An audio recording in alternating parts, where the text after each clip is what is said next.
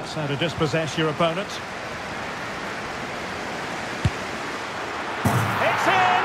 And this really takes your breath away. A comeback and a half.